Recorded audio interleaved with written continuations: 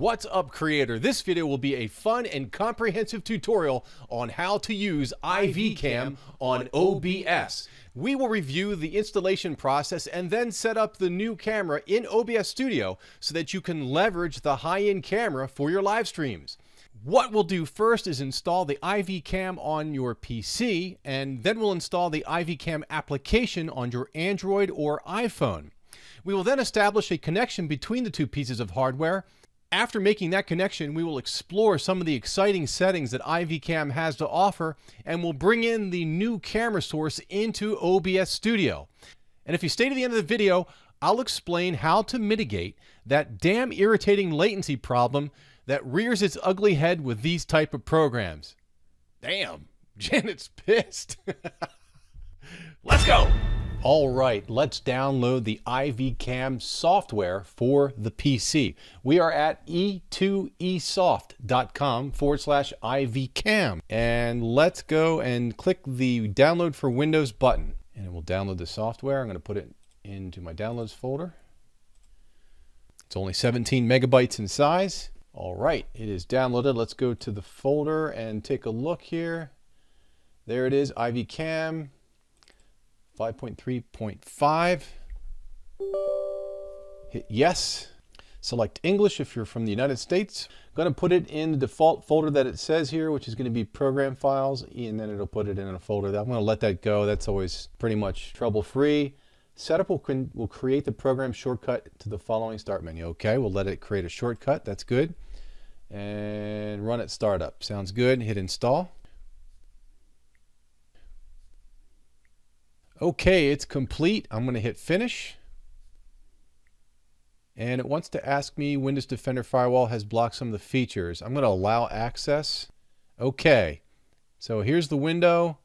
It's saying not connected, and it's probably because we have not connected our phone so let's get the app installed on our phone right away. Okay, here's the IVCam webcam application on the iPhone.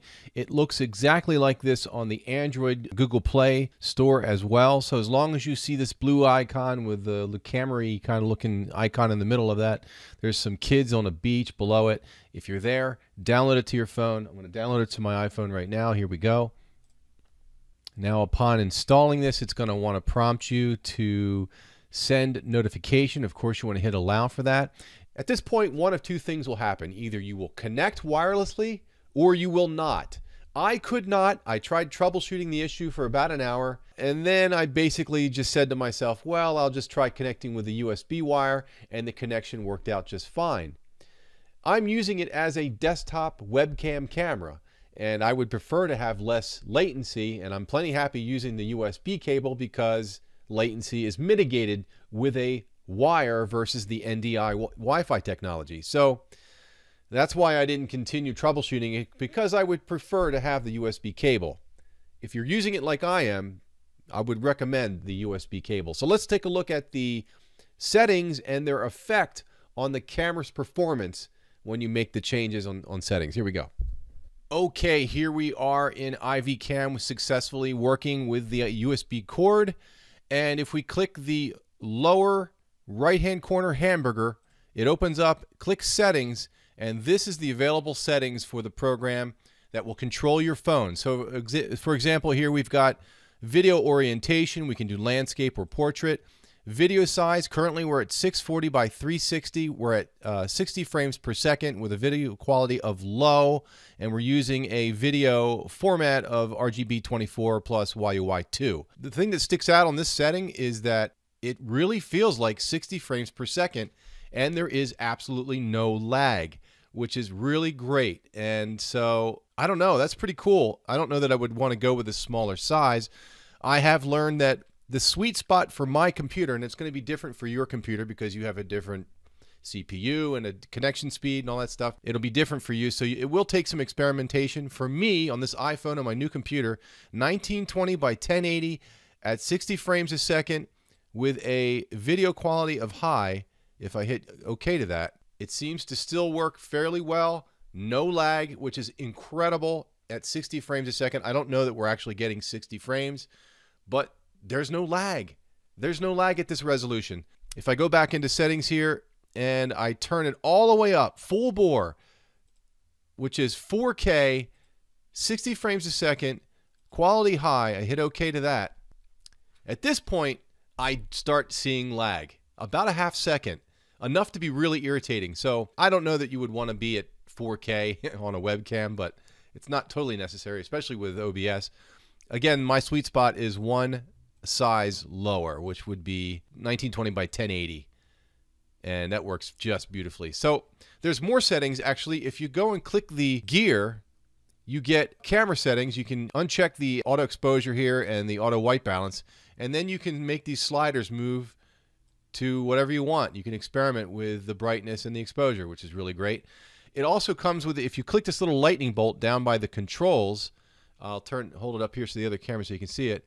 You can click and toggle the various brightnesses of your flashlight on your phone if you reverse the camera, if you decide to do that. So one click goes one brightness, another click goes to another, and then finally, uh, uh I think it's like the third click, the light will turn off. If you click the wand, it does a color enhancement.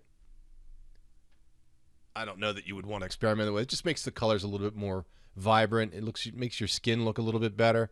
I'll turn it off and turn it on. I don't know. Kind of looks nice. I think maybe I would do it. This will flip you upside down, and this one will flip you left to right, which is really great. And then, of course, if you hit the camera button here, it will flip you to the other camera so that when you hit the uh, lightning bolt here to turn the light on, you get the different. No, it's not turning on. That's interesting. So I flipped the camera and I tried to turn the flashlight on and it won't work. Go figure. I don't know. So those are the settings. It's fairly cut and dry. It's not rocket science. It's just going to take some experimentation to figure out what will work for your computer. Okay, here we are in OBS. We have a blank scene that I created called Phone Webcam. And I will hit the plus sign in the lower left-hand corner for the sources box. And I will select Video Capture Device. I will name this Scott's Desk Cam and I will hit OK, and it will prompt me with a window asking me what camera to select. If I go to the device pull down here, I'll select E2E Soft IV Cam, hit OK, and there's the window. We are currently at, if I click the IV Cam window and click the hamburger, I will tell you the settings I'm at, which is 30 frames a second, 960 by 540 with a video quality of medium. Uh, it seems to be pretty good. I'm happy with that setting. Uh, if you are using the trial version and you do see a logo, you can get that to go away. All you have to do is adjust the frame by hitting your Alt key and clicking the handle on the left and just dragging it to the right. After a couple days, you will get prompted by the software to purchase the full version. It's only nine bucks. It's worth it, I think. The software is pretty slick. I think it's a win. I do have some occurrences of uh, metering. It starts to flicker a little bit, and every once in a while, it will freeze. And that's sort of problematic, but I don't seem to have those issues with lower resolutions. Anything at the 4K, you'll start getting the, the weird stuff to happen. It just can't handle the bandwidth. So I'm pretty happy with it. I think it's not too bad. Here you can see you can start to see the flickering going on here. There, can you see it? There's that metering flickery thing going on. It's kind of funky. I don't know. Anyways, regardless of all the quirks, I still think it's worth the nine bucks. Let's go in and try to mitigate the latency now. So when I add a microphone, a USB mic, I'll click the plus sign and select the audio input capture. And I will name it Mikey. He likes it. Hey, Mikey. And hit OK. And I will select my device, which is the uh, ATR USB microphone, hit OK.